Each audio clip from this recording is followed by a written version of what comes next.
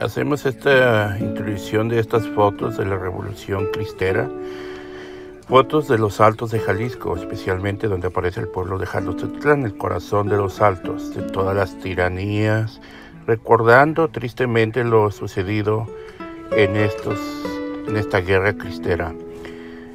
Es bonito sentirse y estar viva Cristo Rey, recordar los mártires y saber que vivimos